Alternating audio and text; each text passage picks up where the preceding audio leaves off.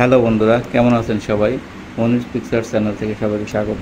আজকে যে বিষয় নিয়ে সবার সাথে শেয়ার করব, সেটা হলো টাচলক জিপিএস এর মাস্টার রিমোট নিয়ে। সেটা হলো যে টাচলক মাস্টার রিমোটের ব্যাটারি কীভাবে চেঞ্জ করে, আর আমি কীভাবে এটার সমস্যার সম্মুখীন হয়েছিলাম এবং কীভাবে সমাধান করেছি, সেটার পুরোটাই আপনাদের সাথে শেয়ার করব।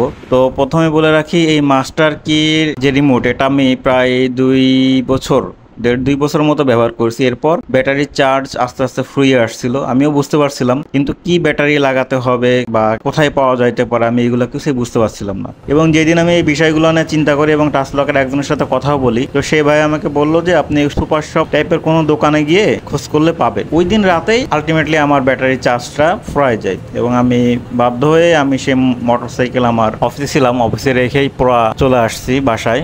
তার আগে ওই রাতে আমি আমার আমি থাকি মেইনলি গাজীপুরে। গাজীপুর থেকে আমি মাওনা গিয়েছিলাম, মাওনা মার্কেটে খুঁজতে সেই ব্যাটারি।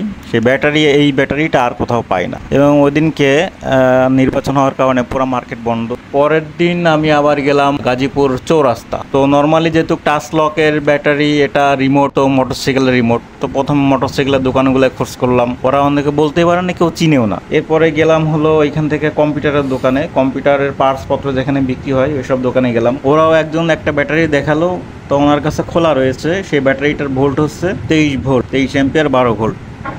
তো আমাদের এখানে, আমাদের যে এই রিমোটের যে টাচ লক আমি কিনেছিলাম, এটার ব্যাটারি লাগবে হলো সাতাশ এম্পিয়ার বারো ভোল্ট। এখন আমি এই ব্যাটারিটা এই তেইশ অ্যাম্পিয়ার এবং এই সাতাশ অ্যাম্পিয়ার ব্যাটারি কিন্তু দেখতে সিমিলার হলেও তেইশ অ্যাম্পিয়ারের ব্যাটারিটা একটু মোটা আর সাতাশ অ্যাম্পিয়ার বারো ভোল্টের ব্যাটারিটা একটু চিকো অ্যালকালাইন ব্যাটারি। তো আপনারা, আপনাদের রিমোট খুলবেন, খোলার পরে যেই ব্যাটারিটা দেখবেন, যেই ভোল্টের ঠিক ওই ব্যাটারিটাই নেবেন। না হলে কিন্তু রিমোটে সেট হবে না আপনার রিমোট চালু করতে পারবেন না, পরে একটা প্রবলেম হইতে পারে। আমি অনলাইন যেমন দারাজে অনেক খোঁজ করেছি, তো তারা এই সাতাশ এম্পিয়ার বারো ভোল্টের ছবি দেখায়, কিন্তু তারা কাস্টমারকে দেয় তেইশ ভোল্ট। তো আমি তো তেইশ ভোল্ট নিয়ে তো আসলে আমি বা আপনি এই ব্যাটারিতে এই রিমোট কার্যকর করতে পারব না। তো ওখানে এক প্রকার প্রতারণার মতো হয়।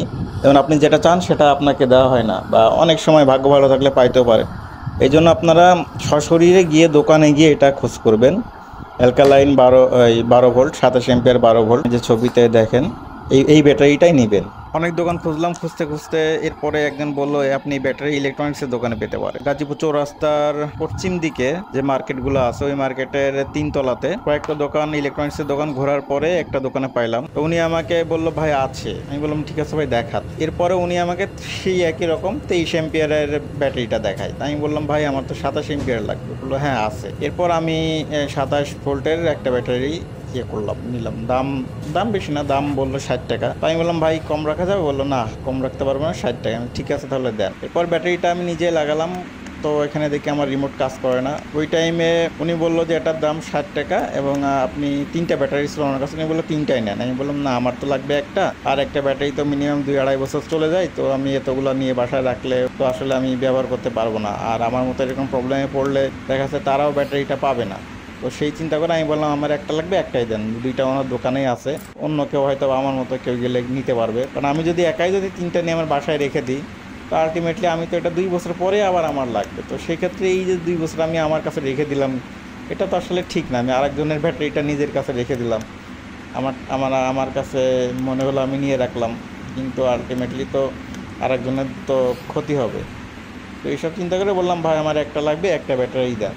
এখন আমি যেটা আর একটা প্রবলেমে পড়ছিলাম, ব্যাটারিটা আমি নিজ হাতে লাগাই, দুইবার লাগাই এবং কোনোবারই আমি এই ব্যাটারির যে ব্লিঙ্ক যে আলো আলো জ্বলে না, তখন ভাবলাম যে তাহলে মানে আমার রিমোটের প্রবলেম হয়েছে।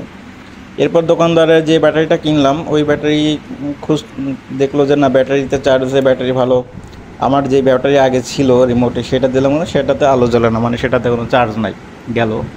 এরপরে তাকে জিজ্ঞেস করলাম, ভাই, তাহলে তো মনে হয় রিমোটের প্রবলেম হতে পারে। রিমোট কোথায় সার? এবার রিমোট সারতে গিয়ে মানে সারাতে গিয়ে এক দোকানদার বলে, অমুক পারে। অমুক পরে, সে তার কাছে গেলে সে বলে, অমুক দোকানের অমুক পারে। মানে নীল খেতে যেরকম ধরেন আপনি একটা বই কিনতে গেলেন, বই যখন পাবেন না, বা তার সাথে ওই বই তার কাছে নিবেন না, আপনারা কি করে? আপনারা বিভিন্ন জায়গায় ঘোরায় বলে, ওই, ওই- কোনা যায়, ওইখানে কমই পাবেন। আপনি ওইখানে যাবেন, বিশ্বাস করে ওইখান থেকে আবার বলবে যে এক মানে আপনি খালি ঘুরতেই থাকবেন, নিউ মার্কেট নীলক্ষেতের মতো এরকম ঘুরতেই আস, ঘুরতে ঘুরতে একজনকে পাইলাম। সে বলে, এইসব খেলার রিমোট রিমোট, টিমোট, এইগুলো তো ভালো না। এগুলো আমি কাজ করি, তবে আমার হাতে যে কাজ আছে, এটা করতে দুই ঘণ্টা সময় লাগবে, এরপরে তাছাড়া হবে। আমি তো পড়ে গেলাম আর এক বিপদে, অফিস থেকে এক ঘণ্টা ছুটি নিয়ে বের হলাম লাঞ্চে ঠিক আছে ভাই, তাহলে আমি রাতে আসব, সন্ধ্যার দিকে আসব। আমি আমার অফিসের যে ইলেকট্রিক ইঞ্জিনিয়ার আছে ইলেকট্রিক্যাল ইলেকট্রনিক্সের সাব্বির ভাই ওনার কাছে গেলাম। তা আবার কি মনে হলো, ওনার সামনে আমি রিমোটটা আবার খুললাম।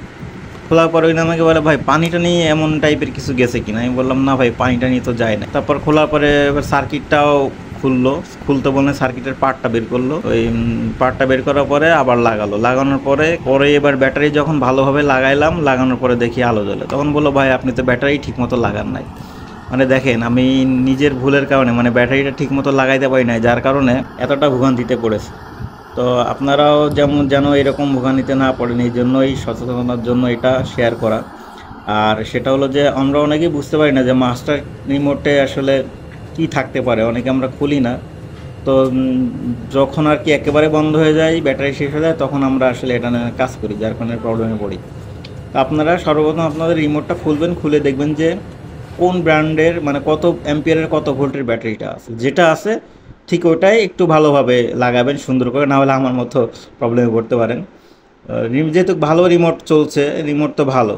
তো আমি খালি ব্যাটারি চেঞ্জ করলাম, করার পরে আমি আর কোনো কানেকশন পাচ্ছি না। মানে আমি ব্যাটারিটাই আমি ঠিকমতো লাগাইতে পারি না এটাই ছিল আমার প্রবলেম তো আমি যেই, আমার রিমোটের যেই ব্যাটারিটা ছিল, আমি সেটা ছবি অলরেডি আপনারা দেখছেন।